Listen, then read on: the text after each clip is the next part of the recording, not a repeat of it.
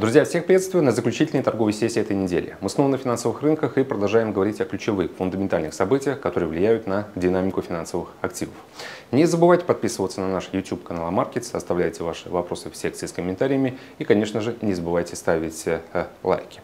Ну что ж, мы продолжаем следить за тем, как доллар э, набирает э, массу, собственно, становится все дороже. Текущие котировки по индексу американской валюты 105.18. И, судя по всему, действительно индекс доллара заряжен на дальнейшее восходящее движение. По повестке э, текущего экономического календаря сегодняшнего дня нас ожидает еще несколько отчетов, на которые обязательно стоит обратить внимание.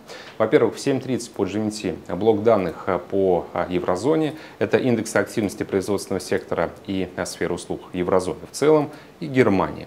Обязательно нужно будет проанализировать эти данные, потому что некоторое время назад мы добавили евро в наш портфель и активно шортим этот инструмент, ожидая то, что очень скоро европейская валюта обновит новые локальные и многомесячные минимумы. Этот прогноз не изменился.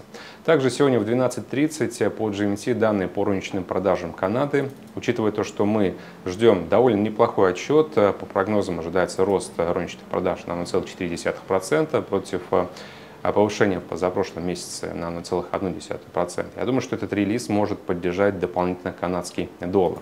Нет сомнений в том, что розничные, розничные продажи будут на высоких значениях, потому что это, по сути, продолжение данных по инфляции. Ранее, на прошлой неделе, мы помним, что был зафиксирован значительный рост потребительских цен как в месячном, так и в годовом выражении. Поэтому здесь нужно сделать абсолютно логичный вывод о том, что к этому росту э, привела активизация э, потребителей.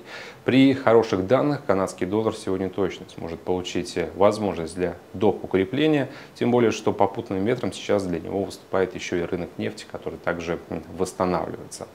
А дальше по отчетам в 13.45 индекс PMI производственного сектора и э, сферы услуг США. Тоже по ожиданиям цифры должны быть неплохими по крайней мере в экономических календарях сейчас э, значатся оптимистичные прогнозы, что может дополнительно поддержать позиции индекса доллара. Вернемся к американской валюте. Конечно же, сейчас рынок продолжает переваривать итоги заседания Федрезерва, которое состоялось в эту среду. Ставку, как мы помним, не изменили.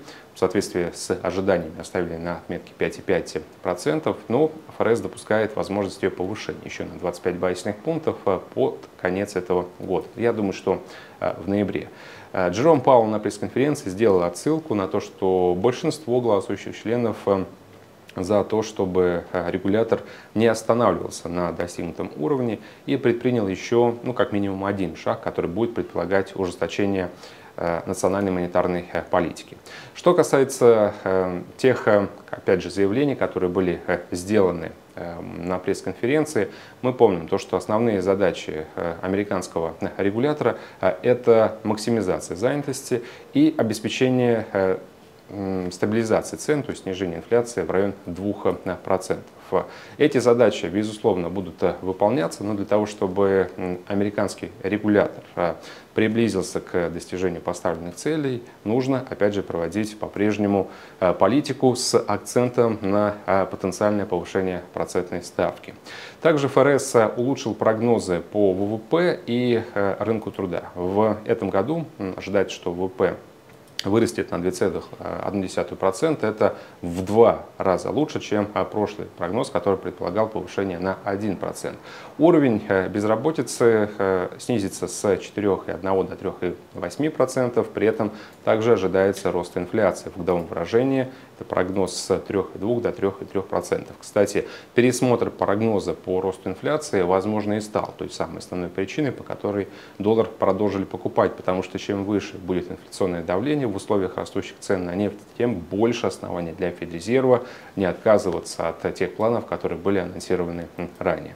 Тенденция остается бычьей. Я думаю, что очень скоро индекс доллара окажется на новых э, максимумах.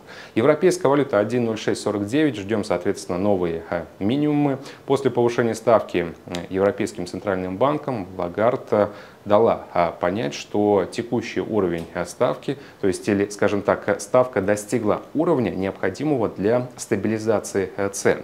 И вице-президент ЕЦБ Луис де Гиндес также отметил, что На данный момент ставка более чем достаточно, чтобы обеспечить снижение инфляции, возвращение инфляции к 2% целевому ориентиру.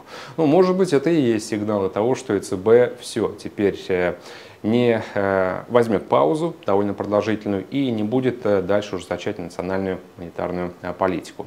В таких условиях, друзья, я думаю, то, что мы смело сейчас можем держать короткие позиции по евро, потому что даже на контрасте ожиданий, если ЕЦБ ничего не сделает, а ФРС поднимет ставку еще один раз, будут созданы условия, которые повысят привлекательность прежде всего доллара по отношению к евро.